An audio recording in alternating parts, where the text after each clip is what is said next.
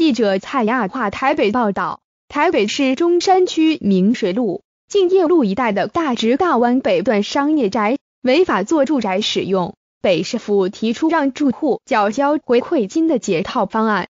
北市议员梁文杰今日下午于北市议会民政质询时指出，只要有房屋所有权状就可申请户籍，一个户籍又可以住很多人。大关北段商业宅本不该有户籍，但仍出现户籍，有户籍就有选票。公宅也有这样的问题，让选区议员或里长无法掌握票源，倍感压力。梁文杰要求调查北市各区违规住宅使用的涉及状况。他直接点名民政局主动找都市发展局等相关单位，共同严密一套做法，明确规范这类新兴人口。下周他质询时会追踪了解。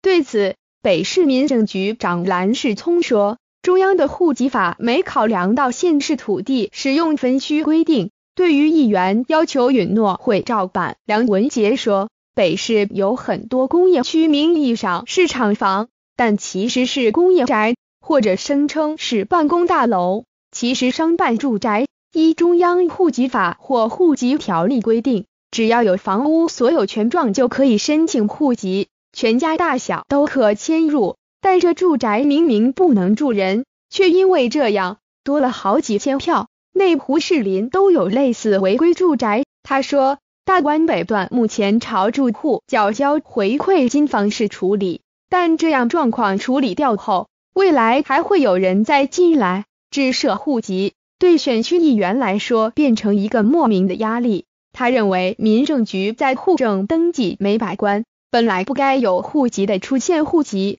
然后就有选票。例如大湾北段有四千多户，但每户到底有多少人入籍，他并不清楚。梁文杰表示，这样事情永远处理不完。中央户籍法虽然规范有房屋所有权状就可申请户籍，但对北市来讲，应该要有更细部做法做鉴定。例如，该大楼的使用权状是办公大楼，就不能允许很多人进来设立户籍。民政局应找都发局讨论解决。蓝世聪回应，中央的法令没考虑到北市土地使用分区，除了商业宅、工业宅、公宅也有户籍设置的问题。但法令规范就是没办法不让人民涉及，像是税捐稽征处也有不是住宅的，却用住宅税率课税。梁文杰提到，由里长因里内有兴建公宅，里内多了六七百户公宅，但里长掌握不了票源，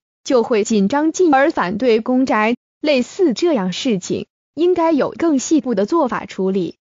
蓝世聪说。这可以用幽灵人口方式去处理，但梁文杰纠正，这并非幽灵人口，幽灵人口是违法的，但这些是土地区分或公宅户籍的问题。